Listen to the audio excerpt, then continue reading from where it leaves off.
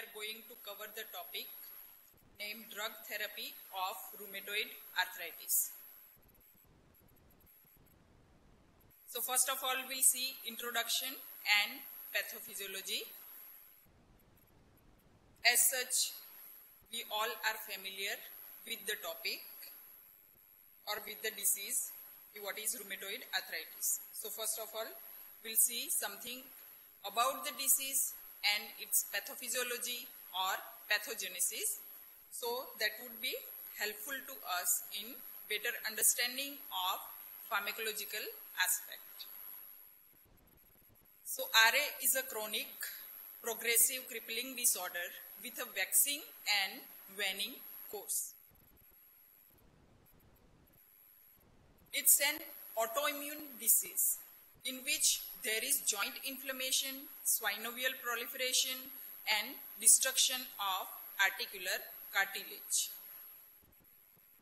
Immune complexes composed of IgM activate complement and release cytokines, mainly TNF alpha and interleukin 1, which are chemotactic for neutrophils. So, in pathogenesis, we should concentrate about the various agents or factors play role in it. So here you can remember about the cytokines, the role of cytokines. There are so many cytokines. But if we talk about rheumatoid arthritis, you can specially remember the majority of the cases there is the role of TNF alpha, tumor necrosing factor alpha and interleukin 1. So therapy targeted to these cytokines we will learn. These inflammatory cells secrete lysosomal enzymes which damage cartilage and erode bone, while prostaglandins produced in the process cause vasodilation.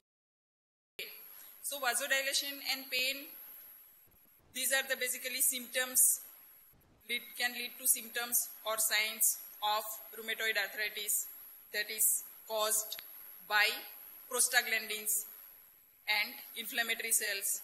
So the targeted therapy you can guess anti-inflammatory as well as the agents which inhibit or block prostaglandin production.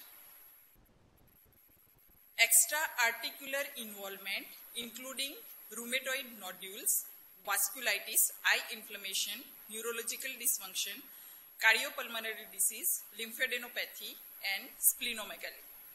So, rheumatoid arthritis, mostly one can assume that only is the disease related to joints. So, focus on that. But it's not like that. If we see, there is also involvement of extra articular portion. So, basically these are the characteristic of disease. Although the usual disease course is chronic, some patients will enter a remission spontaneously, but it is uh, what to say not common. So majority of the cases it remains the chronic condition and lifelong treatment is required. Multiple small joints of hands and feet are preferably affected. Deformities are produced as the disease progresses. So, you can remember in the starting or as the disease advances, but in majority of the cases, there is the involvement of small joints of hands and feet. This is typical of the disease. Chronic inflammation of synovial tissue lining the joint capsule result in proliferation of this tissue. The inflamed proliferating synovium characteristic of rheumatoid arthritis is called pannus. This pannus invades the cartilage and eventually the bone surface producing erosions of bone and cartilage and leading to destruction of the joint. So this is, we can say, elaboration of pathogenesis. The factors that initiate the inflammatory process are unknown. It is known that smoking and pulmonary disease may increase the risk, but it is not confirmed.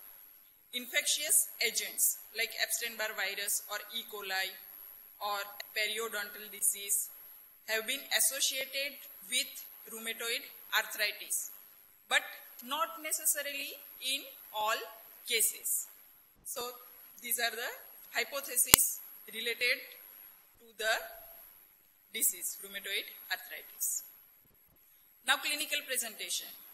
Actually, I'll go fast because in pharmacology class it is not much important, but it is necessary to be familiar with the clinical course of the disease also, clinical presentation also. So, first of all we'll see symptoms. Which are the symptoms? Joint pain and stiffness of more than 6 weeks duration. Fatigue, weakness, low-grade fever, loss of appetite. Muscle pain and afternoon fatigue may also be present. Joint deformity is generally seen late in the disease. Signs, the difference between signs and symptoms, you must be knowing. You are attending clinics. So, symptoms, that means what is described by patient and signs which are basically elicited by consultant or physician. So which are the signs? Tenderness with warmth and swelling over the affected joints usually involving hands and feet. Distribution of joint involvement is frequently symmetrical. Rheumatoid nodules may be present. So nodules may be present at many sites or many places of the body. Laboratory test for confirmation because we are knowing arthritis are many type, osteoarthritis also there along with osteoporosis also there are Okay, so like that. So how will you label the condition as rheumatoid arthritis? So one test that is for RA factor. So RA factor detectable in 60 to 70 percent of the cases. But remember in 40 to 30 percent of the cases it is absent. But still by eliciting proper history and clinical manifestation, the physician can label the condition as rheumatoid arthritis. The joints affected most frequently by RA are the small joints of hands, wrist and feet, we have already seen. In addition, elbows, shoulders, hips, knees and ankles may be involved. Patients usually experience joint stiffness that typically is worse in the morning, which is known as morning stiffness. So it is typical of that disease. The duration of stiffness tends to be correlated directly with disease activity, usually exceeds 30 minutes and may persist all day. So whenever the case of arthritis is there, ask the patient about morning stiffness. Chronic inflammation with lack of adequate exercise program results in loss of range of motion, atrophy of muscles, weakness and deformity. So along with joint, there are also chances of muscular weakness and muscles related deformities or disease. So we know in elderly or middle-aged uh, patients, deformity develops related to joints and bone and ultimately replacement is done in severe cases. This is typical of rheumatoid nodules. The first one, this is, you can see, swan neck deformity. It is called as swan neck deformity. Now principles of treatment. The primary objective in the treatment of RA is to improve or maintain functional status, thereby improving quality of life. So why quality of maintaining quality of life is important here? Because what to say? in majority of the cases, it is incurable condition. Patient has to live with the rheumatoid arthritis lifelong. So, as physician, our goal is to improve the quality of life as much as. The ultimate goal is to achieve complete disease remission or low disease activity, although this goal may not, not be possible to achieve in some patients. In majority of the patients we can say. Additional goals of treatment include controlling disease activity and joint pain, that is symptomatic relief we can say, maintaining the ability to function in daily activities or work so the routine will not compromise, slowing destructive joint changes and delaying disability. So disability in majority of the cases is inevitable but our goal, one of the goal should be like that to delay the disability as much as we can. Now in the treatment, the major thing that is about the pharmacotherapy or drug treatment of rheumatoid arthritis. So till now, we have the clear picture in mind regarding pharmacotherapy of rheumatoid arthritis, which type of drugs we can give. So various signs and symptoms we have seen. So one target we can say that is symptomatic relief and another thing is the factors involved in pathogenesis uh, are targeted. So for symptomatic relief, NSAIDs are the first line drugs which afford symptomatic relief in pain, swelling and morning stiffness. In addition to NSAIDs and corticosteroids, okay, NSAIDs, corticosteroids are also used. So these corticosteroids are known as adjuvant drugs, not the major drug or specific drug. Why? That we will see. Drugs which suppress the rheumatoid process involved with and retard disease progression but do not have non-specific anti-inflammatory or analgesic action. That means they are not NSAIDs. So these type of agents are referred as or known as DMARDS or SAARDS that is disease modifying anti-rheumatoid drugs or slow acting anti-rheumatoid drugs. So DMARDS or SAARDS involve with disease progression and retard disease progression by various mechanisms. So in classification, if we'll see this, uh, can see, okay, the same thing we can see. Disease modifying anti-rheumatoid drugs or DMARDS, adjuvant drugs as we have just mentioned, prednisolone and other glucocorticoids. Now DMARDS. DMARDS uh, again subclassified into non-biological drugs and biological agents.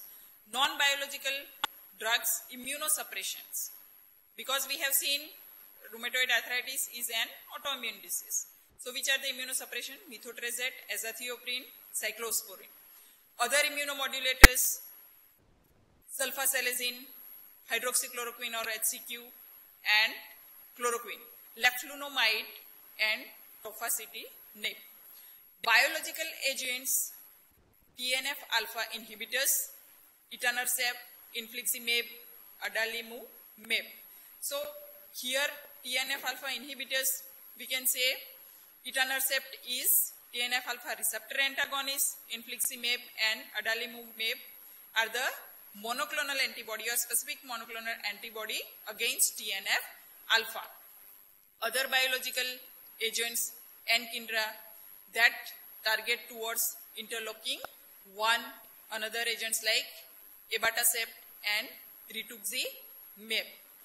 So be clear about the classification of anti-rheumatoid drug.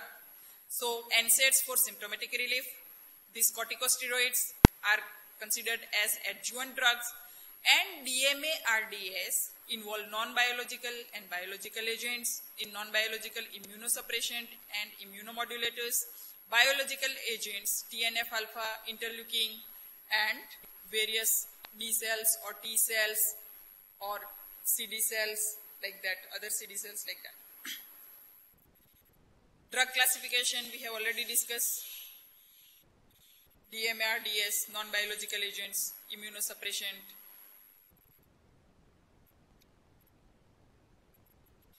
biological agents,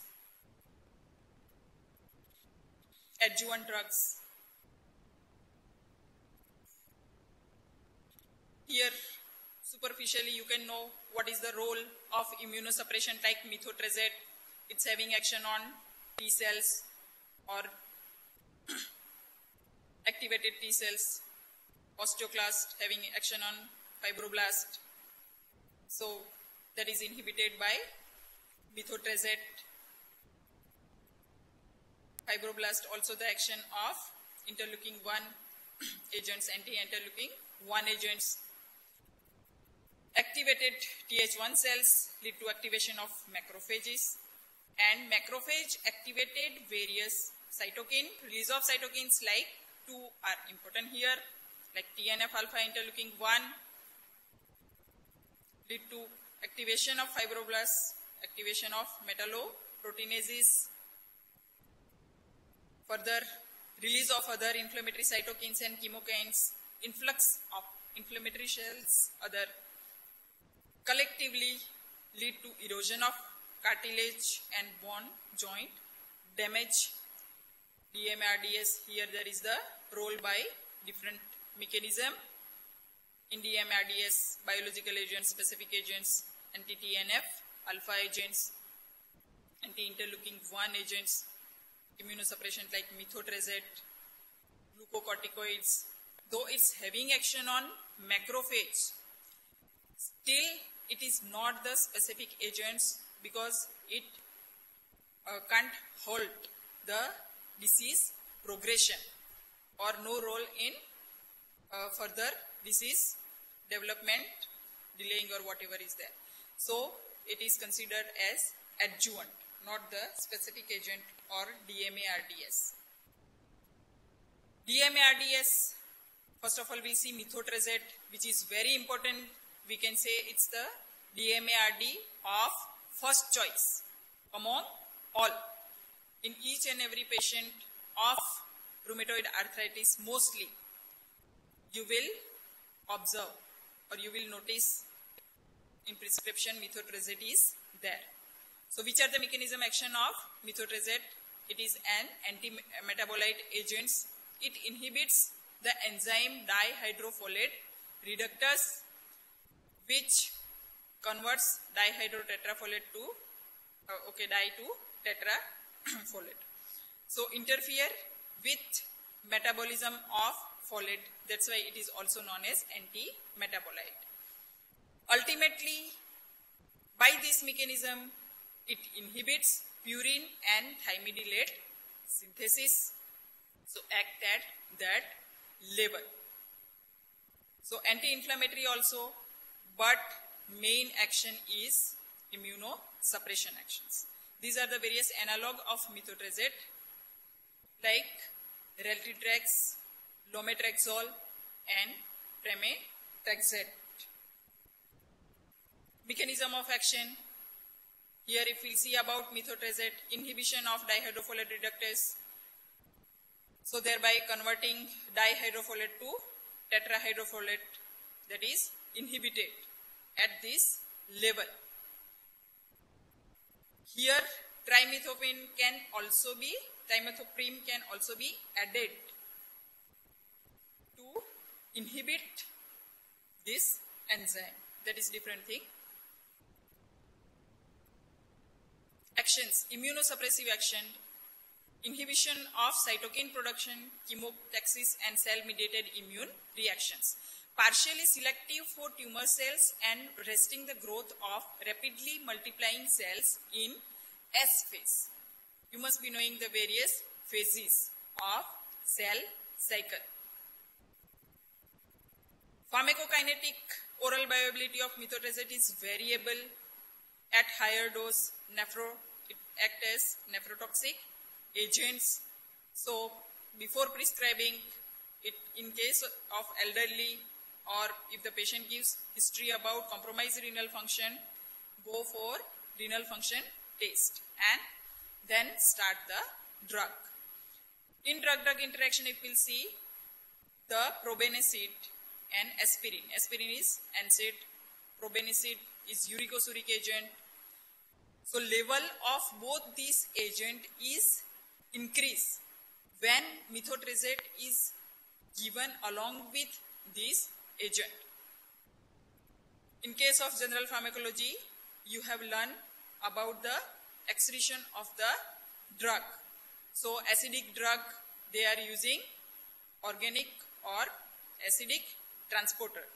So this transporter, at this transporter, it's like competition for binding.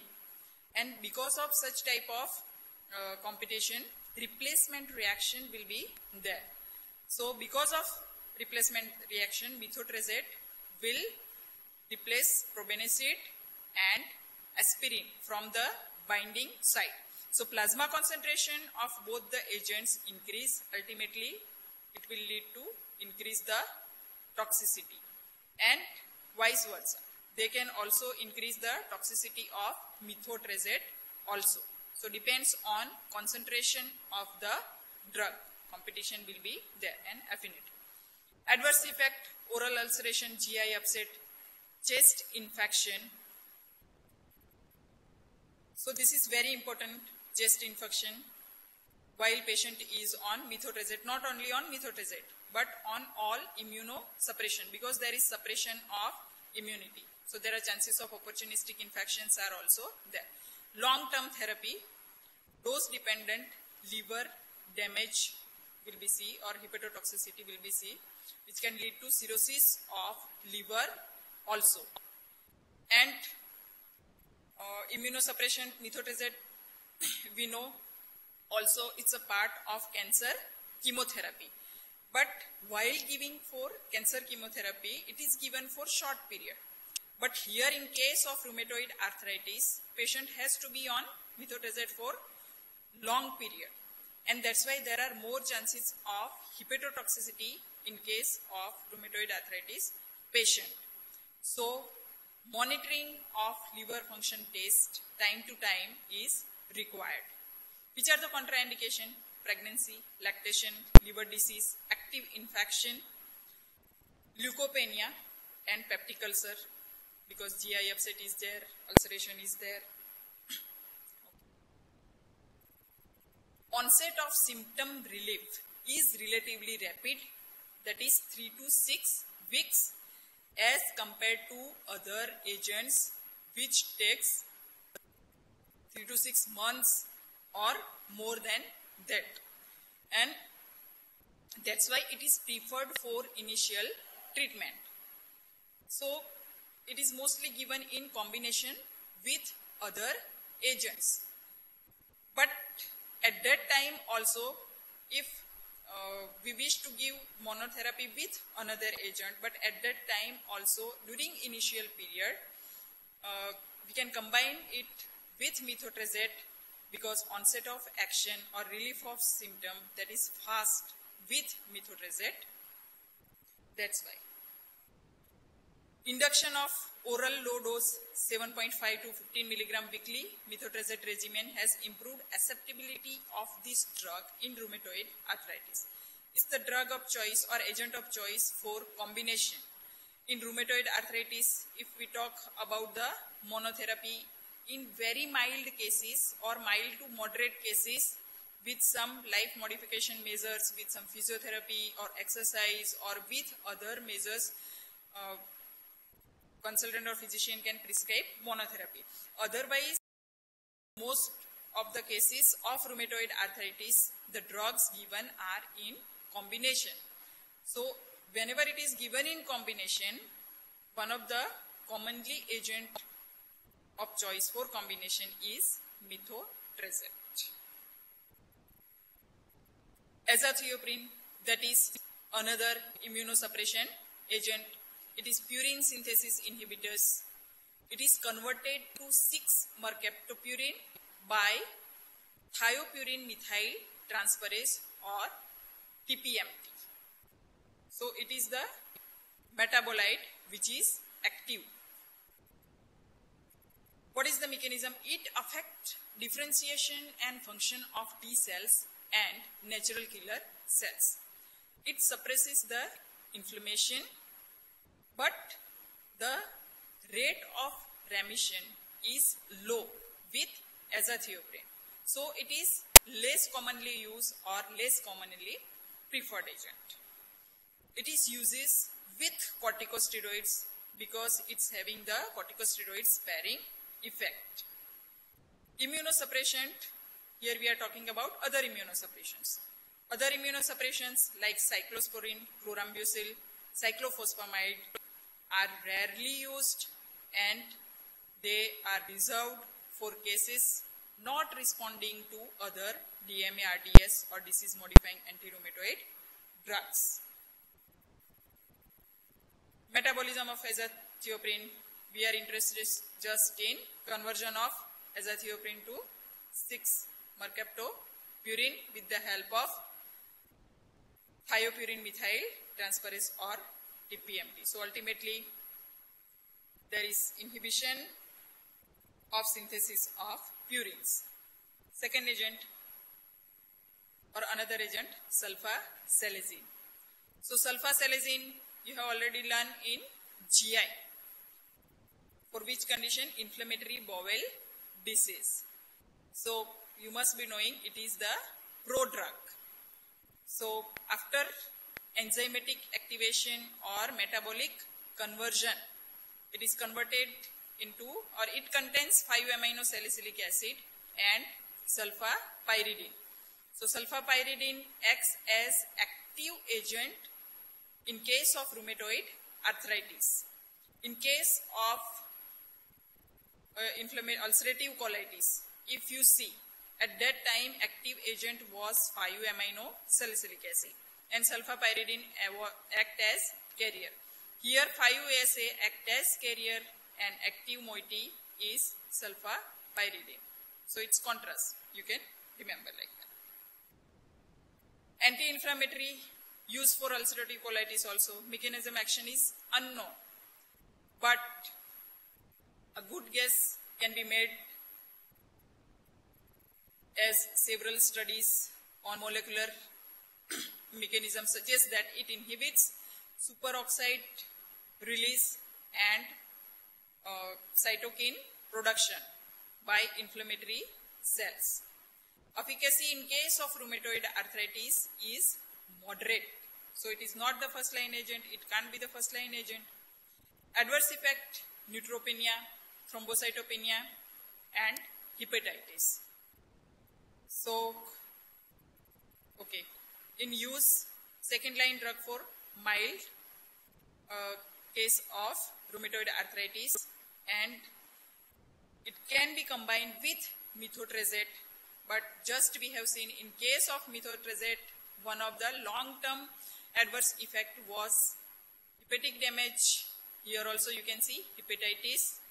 So monitoring of liver function is extremely required hydroxychloroquine or HCQ and chloroquine so it is also, we can say, widely used agent like methotrexate in case of rheumatoid arthritis and it's effective also. Remission is possible in 50% of the cases in 3 to 6 months. Here, concentrate on duration. 3 to 6 months. And what we have seen in case of methotrexate, 3 to 4 weeks or 3 to 6 weeks low toxicity and efficacy not prevented bony erosion. So why it is so popular? Because of low toxicity. Here we have to give the agent for prolonged period or long duration. So because of that it is preferred agent. Mechanism action is unknown, but the hypothesis or hypothetical mechanisms are anti-inflammatory, it will reduce interleukin 1, inhibit B lymphocytes and lysosomal stabilization, also having free radical scavenging property. And okay, in anti-malarial you will learn better about the hydroxychloroquine. Adverse effect if we'll see long-term therapy accumulate in tissue.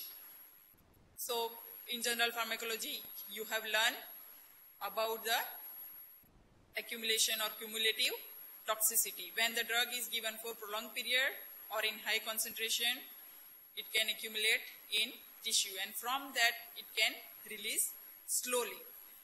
So what, was, what is the disadvantage? Of tissue specific toxicity can be there.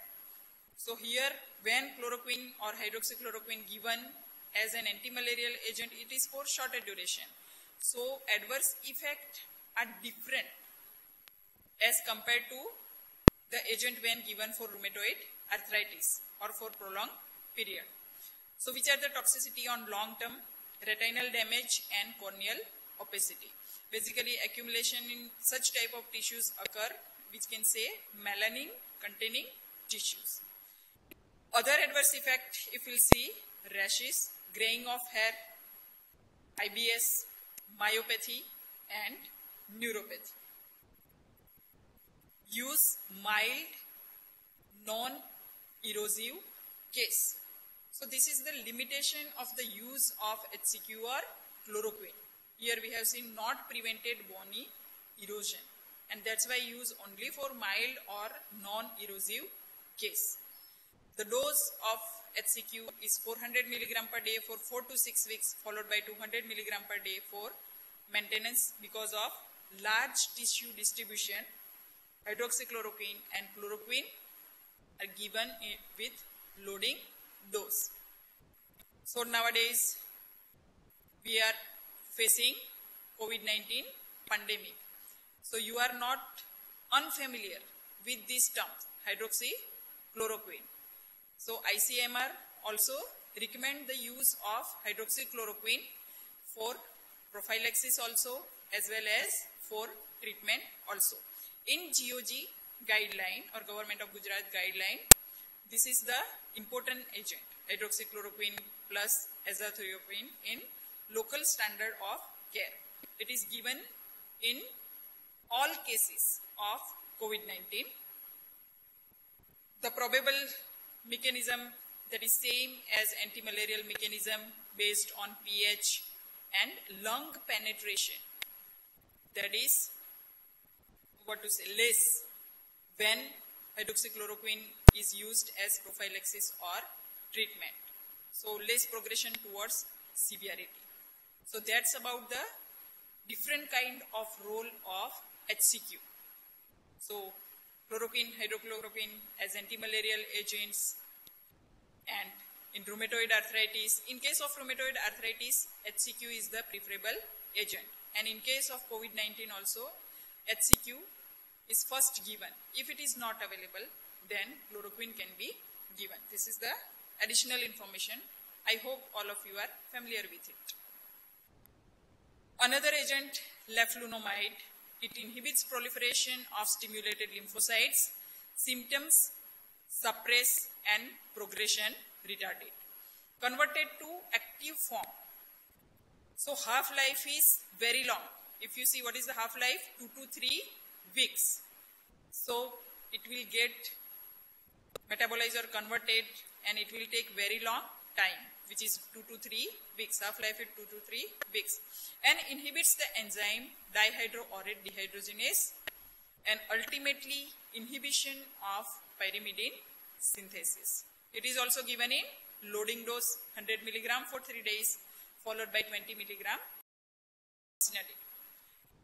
Onset of benefit or onset of action benefit or faster onset of action is noted with leflunomide also. Adverse effect diarrhea, headache, nausea rashes, loss of hair, thrombocytopenia, leukopenia, chest infection, and rise in hepatic enzymes. So here you must have noted the opportunistic infections, hematological adverse effect, and hepatotoxicity that is present with majority of the anti-rheumatoid uh, agents, especially DMARDS or disease modifying anti-rheumatoid drugs. Use alternative to methotrexate or added to it. To methotrexate, how? Because we have seen initially methotrexate is used for initiation of treatment. In majority of the cases it is given. But when it is not preferred at that time also for initiation, uh, methotrexate is used because of early onset of action or faster symptomatic relief is noted with methotrexate. And same thing we have noted with leflunomide also. So that way it is used as alternative to methotrexate. Another option is you can add it methotrexate also. But same like that, sulfasalazine, methotrexate, leflunomide, there is problem of hepatic toxicity. So you have to be vigilant. Physician has to be vigilant. With sulfasalazine, beneficial effect is noted. Another agent, tofacitinib, uh, sorry, tofacitinib it is the new synthetic drug approved for severe cases of RA that are not responding to methotrexate. So, tofacitinib can be used alone or concurrently with methotrexate but should not be combined with azathioprine, cyclosporine and biological DMARDS which are the biological DMARDS agents active against TNF alpha and interleukin 1. Molecular mechanism, if you'll see in general pharmacology, you have done about the type of signaling pathway. So here, one of the pathway that is interfere with JAK-STAT signaling pathway, not that JAK-STAT signaling pathway. So ultimately DNA transcription is interfere. Production of inflammatory mediators and release of cytokines is inhibited. Adverse effects headache, insomnia, diarrhea, hypertension, anemia, susceptibility to respiratory infections, flaring of tuberculosis and liver dip. Again, opportunistic infection or another infection, respiratory infection, flaring of tuberculosis because of lowering of immunity and here also liver damage is present. Gold and D-penicillamine, these two agents are nowadays having historical importance because clinicians don't prefer these agents because of high level of toxicity. So we are not discussing here. Biological agents or biological response modifiers. So which are the common points? All of them produce prominent adverse effects and all of them are expensive because either they are receptor antagonist or they are monoclonal antibody and most of them are prepared by recombinant technology which, which itself is very expensive. It is used only as a reserve drug for severe refractory cases. So only for severe cases or refractory cases. First of all, TNF alpha inhibitors. So common points about TNF alpha inhibitors. TNF activate receptor 1 and 2 on macrophages and T cells. Exogenously give soluble TNF receptor protein or antibody, neutralize it and interrupt the reaction. Quicker response than non-biological DMA RDS. So that is we can consider it as advantage. Usually used in combination with methotrexate. So they are not so potent agent. So combination is required and for combination we are knowing agent of choice is methotrexate. use add with methotrexate, adverse effect, opportunistic infection, like tuberculosis, pneumocystis pneumonia, STNF alpha has the major role in prevention of this condition. So TNF alpha act or plays positive role here. And if we suppress TNF alpha by giving such agents, there are chances of protection will be lost. So there are chances of tuberculosis and pneumocystis pneumonia. Etanercept. So what is etanercept? It's fully recombinant molecule consisting of two soluble TNF receptor subunits fused to Fc portion of human IgG1. It binds to and prevents TNF alpha from activating TNF receptors on the membrane of T cells and macrophages. So whatever the consequent or sequelae of binding of TNF alpha with the receptor is prevented by this agent. 25 to 50 milligrams subcutaneous once or twice weekly. If you see in case of rheumatoid arthritis, all agents are not given or majority of the agents are given either alternative days or weekly or monthly like that. Which are the adverse effect of etanercept? Pain, redness, itching, swelling and chest infection. So at local site also there are adverse effect and systemic also. Infliximab. So infliximab is chimeric human monoclonal antibody, IgG1. How is it given? IV infusion 3 to 5 mg per kg 4, 4 to 8 weeks. Adverse effect, fever, chills, urticaria, bronchospasm, anaphylaxis, which is red. But anaphylactic type of manifestations is noted with majority of the cases. So while patient is given infliximab, proper vigilant is required. Use as usual in combination with methotrexate.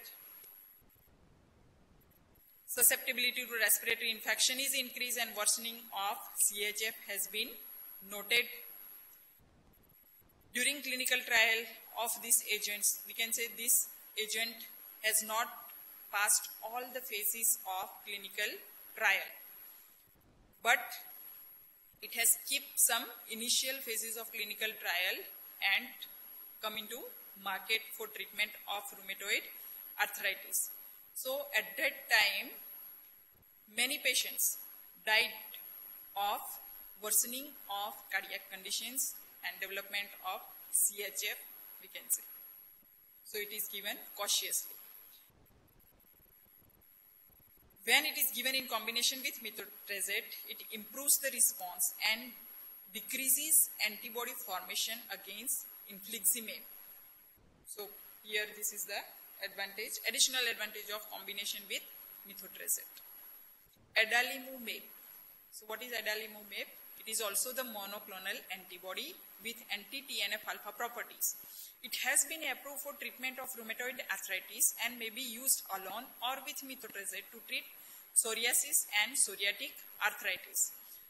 So majority of the immunosuppressions are used for psoriasis also because psoriasis is also autoimmune conditions.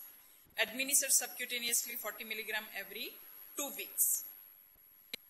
Another agents similar to these agents are certolizumab and golimumab. So, which are very similar to that of infliximab and adalimumab. Anakinra. What is anakinra? It is recombinant and slightly modified version of human interleukin 1 receptor antagonist protein. So IL-1 receptor antagonist protein. It is not monoclonal antibody. Here, in case of drugs targeted against TNF alpha and interleukin 1, you need to remember which are the monoclonal, monoclonal antibody. Mostly MAB or MUMAB or such type of agents, uh, if you search in Google, you can find why the this type of nomenclature is there with monoclonal antibodies. So monoclonal antibody you need to remember and which agents are receptor antagonists. So anakinra is basically IL-1 receptor antagonist protein. Less effective than previous drugs which are targeted against uh, TNF-alpha. Use failure of DMARDS, that means all above agents, if failed disease modifying anti-rheumatoid drugs, at that time we can go for anakinra. Abatacept. This abatacept is modified monoclonal antibody fusion protein composed of hepcidin of immunoglobulin IgG1 fused to the extracellular domain of CTLA4. What is CTLA4? Cytotoxic T lymphocyte associated protein 4. By binding to CD80 and CD86 molecules, it prevents the second signal for co-stimulation of T cells. So thereby we can say or such way it inhibit T cell function. It can be combined with methotrexate and other DMARDS but not with TNF-alpha antagonists due to greatly increased risk of infection because of severely compromised immunity. It can be given by IV infusion as well as by subcutaneous injection. Rituximab. Rituximab is also chimeric monoclonal antibody against the protein CD 20. So this monoclonal antibody targeted towards CD20, which is primarily found on the surface of immune system, beta cells, B cells, not T cells, B cells. When it binds to this protein, it triggers cell death. Detail, we are not going into detail. Corticosteroids. Mechanism action, potent immunosuppression and anti-inflammatory activity at any stage of RA with or without NSAIDs, NSAIDs, it's or disease modifying anti-rheumatoid drugs. Symptomatic relief is provided by corticosteroid which is prompt but it does not interfere with progression of the disease or unable to arrest the disease progression of rheumatoid arthritis or slowing of joint destruction and bony erosion. So it is considered as adjuvant agent. Otherwise, as we have seen previously, as immunomodulators, it has action on macrophage and macrophage mediated whatever the inflammatory events also. But still it is not considered as disease modifying anti-rheumatoid agents because in case of rheumatoid arthritis it acts in a fantastic way as or to provide symptomatic relief but it does not interfere with disease progression that's why and here also in majority of the cases corticosteroids given in moderate to severe cases. It can be combined at any stage, but intraarticular injection of corticosteroids are given commonly. That's why in mild cases, if possible, try to avoid corticosteroids. And if uh, we have not, till now we have not learned about the corticosteroids or steroids, then also be familiar with the various adverse effects associated with the long-term use of corticosteroids. There are so many.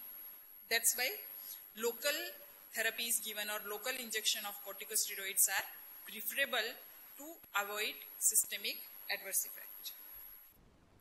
Long-term disadvantage, low dose used to supplement NSAIDs, high dose given for short period because of adverse effect or HPA axis suppression and it is like that start gradually started and withdrawal should also be gradual. Intraarticular injection of soluble glucocorticoid given local therapy we can say to avoid systemic adverse effect.